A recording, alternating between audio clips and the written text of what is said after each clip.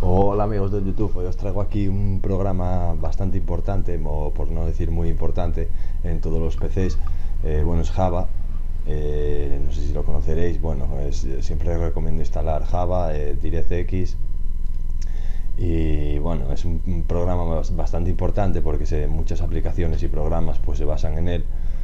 Y bueno, ya os voy a dejar el enlace en la descripción del vídeo y bueno, lo único que tenéis que hacer es entrar aquí en la página, os describe aquí un poco que por qué descargar Java y esto es una gran verdad. Gracias a la tecnología Java podrá trabajar y entretenerse en un método, en un entorno informático mucho más seguro. Si actualiza la versión de Java más reciente mejorará la seguridad de su sistema. Las versiones anteriores no incluyen actualizaciones de seguridad, las últimas actualizaciones de seguridad. Por eso es importante tenerlo, porque muchos virus te pueden entrar por aquí y no te pueden funcionar muchas aplicaciones, eh, vídeos que se basan en Java, programas, bueno, de todo. La verdad que es importante.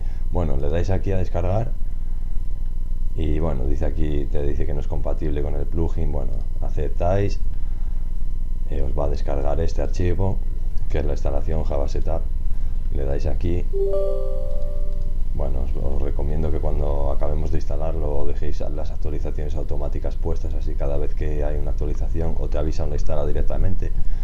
Y bueno, como veis es muy fácil de instalar, se va a abrir aquí un instalador y nada, lo único que tenéis que dar es dar la siguiente. A mí no sé si me dejará instalarlo porque yo ya tengo esta última versión instalada. Bueno, veis aquí este instalador, le dais a siguiente descarga el instalador desde los servidores de Java.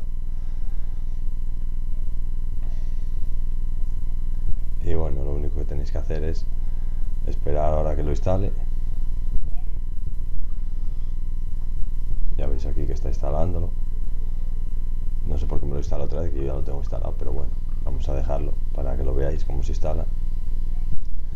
Y una vez que acaba, eso te da las opciones de actualizarlo automáticamente, no te va a pedir nada más y la verdad que no vas a notar que está instalado ni nada, es una, una aplicación que tiene ahí el sistema para que funcione todo bien. Y está en segundo plano, nunca está ahí. Bueno, como veis tarda un poquitín, ahora cuando se completa no te va ni a quedar un icono en el escritorio ni nada, el Java se instala ahí digamos así en segundo plano del sistema.